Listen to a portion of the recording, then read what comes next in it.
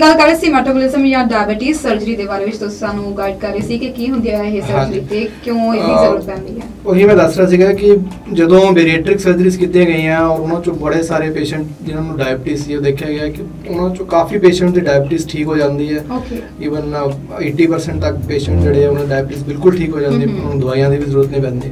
ਪਰ ਜਿਹੜੇ ਬਾਕੀ ਪੇਸ਼ੈਂਟਸ ਰਹਿ ਜਾਂਦੇ ਆ ਉਹਨਾਂ ਦੀ ਉਹਨਾਂ ਚੋਂ ਜ਼ਿਆਦਾਤਰ ਪੇਸ਼ੈਂਟ ਉਹ ਹੈ ਜਿਨ੍ਹਾਂ ਨੂੰ ਬਹੁਤ ਬੈਡ ਡਾਇਬੀਟਿਕਸ ਮਤਲਬ ਕਿ ਬਹੁਤ ਜ਼ਿਆਦਾ ਸਾਲ ਹੋ ਗਏ ਸ਼ੂਗਰ ਨੂੰ ਜੀ ਜਾਂ ਉਹਨਾਂ ਨੂੰ ਬਹੁਤ ਹਾਈ ਡੋਜ਼ ਆਫ ਇਨਸੂਲਿਨ ਚੱਲਦੀ ਹਮਮ। ਉਹ ਵੀ ਉਹਨਾਂ ਦੀ ਰਿਕੁਆਇਰਮੈਂਟ ਆਫ ਮੈਡੀਸਿਨ ਘਟ ਜਾਂਦੀ ਹੈ ਔਰ ਬਲੱਡ ਸ਼ੂਗਰ ਕੰਟਰੋਲ ਬੈਟਰ ਹੋ ਜਾਂਦਾ ਹੈ. ਬਿਫੋਰ ਸਰਜਰੀ ਉਹਨਾਂ ਦਾ ਸ਼ੂਗਰ ਈਵਨ ਉਹ ਇਨਸੂਲਿਨ ਲਗਾ ਰਹੇ ਸੀ ਫਿਰ ਵੀ ਨਹੀਂ ਕੰਟਰੋਲ ਹੋ ਰਹੀ ਸੀ। ਆਫਟਰ ਸਰਜਰੀ ਮੇਬੀ ਉਹਨਾਂ ਨੂੰ ਥੋੜੀ ਜਿਹੀ ਮੈਡੀਸਿਨ ਲੈਣੀ ਪੈਂਦੀ ਉਹਦੇ ਨਾਲ ਵੀ ਸ਼ੂਗਰ ਕੰਟਰੋਲ ਹੋ ਜਾਂਦਾ। ਸੋ ਰਿਸਰਚ ਨੂੰ ਅੱਗੇ ਲਿਜਾ ਕੇ ਦੇਖਿਆ ਗਿਆ ਕਿ ਕੀ ਇਹ ਅਸੀਂ ਉਹਨਾਂ ਲੋਕਾਂ 'ਚ ਵੀ ਕਰ ਸਕਦੇ ਹਾਂ ਜਿਨ੍ਹਾਂ ਨੂੰ ਇੰਨਾ ਜ਼ਿਆਦਾ ਮੋਟਾਪਾ ਨਹੀਂ ਹੈ। ਪਰ ਉਹਨਾਂ ਦੀ ਸ਼ੂਗਰ ਨਹੀਂ ਕੰਟਰੋਲ ਹੋ ਰਹੀ। ਸੋ ਪਹਿਲਾਂ ਜਿਸ ਤਰ੍ਹਾਂ ਮੈਂ ਪਹਿਲਾਂ ਦੱਸਿਆ ਕਿ ਅਸੀਂ ਘੱਟੋ ਘੱਟ 32.5 BMI ਤੇ ਸਰਜਰੀ ਕਰ ਸਕਦੇ ਸੀ।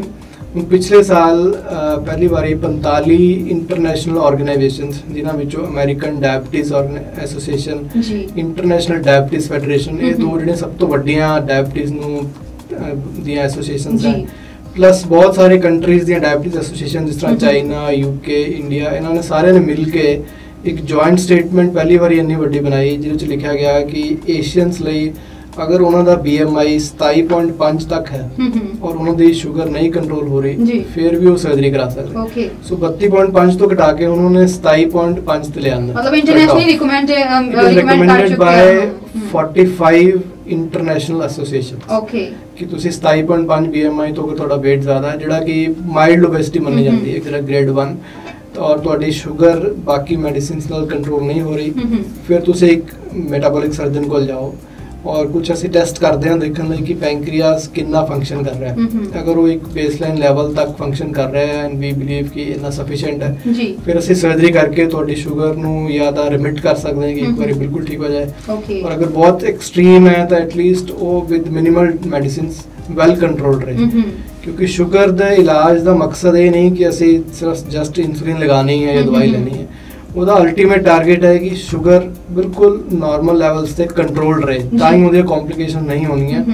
ਅਦਰਵਾਈਜ਼ ਇਵਨ ਦੋ ਤੁਸੀਂ ਜਿੰਨੀ ਵੀ ਦਵਾਈ ਖਾ ਰਹੇ ਹੋ ਅਗਰ ਸ਼ੂਗਰ ਹਾਈ ਰਹਿ ਰਹੀ ਹੈ। ਤਾਂ ਉਹਦੀਆਂ ਕੰਪਲਿਕੇਸ਼ਨ ਡੈਫੀਨਿਟਲੀ ਹੋਣਗੀਆਂ ਹੋਣਗੀਆਂ ਬਿਲਕੁਲ ਵੈਸੇ ਮੈਟਾਬੋਲਿਜ਼ਮ ਸਰਜਰੀ ਦੇ ਕੀ ਕੀ ਬੈਨੀਫਿਟਸ ਹੈਗੇ ਆ ਜੇ ਅਸੀਂ ਕਰਵਾਈਏ ਕੋਈ ਡਾਇਬੀਟੀਜ਼ ਦਾ ਪੇਸ਼ੈਂਟ ਦੀ ਸਰਜਰੀ ਨੂੰ ਕਰਵਾਉਂਦਾ ਕੀ ਕੀ ਬੈਨੀਫਿਟਸ ਹੋ ਸਕਦੇ ਆ ਬੈਨੀਫਿਟ ਡੈਫੀਨਿਟਲੀ ਅਗਰ ਪੇਸ਼ੈਂਟ ਦੀ ਡਾਇਬੀਟੀਜ਼ ਇੱਕ ਵਾਰੀ ਰਿਮਿਟ ਹੋ ਗਈ ਮਤਲਬ। ਕਿ ਉਹਦੀ ਉਹਨੂੰ ਉਸ ਤੋਂ ਬਾਅਦ ਕੋਈ ਸ਼ੂਗਰ ਦੀ ਮੈਡੀਸਿਨ ਜਾਂ ਇਨਸੂਲਿਨ ਓਰਲ ਮੈਡੀਸਿਨ ਜਾਂ ਇਨਸੂਲਿਨ ਬਿਲਕੁਲ, ਲੋੜ ਨਹੀਂ ਪੈ ਰਹੀ।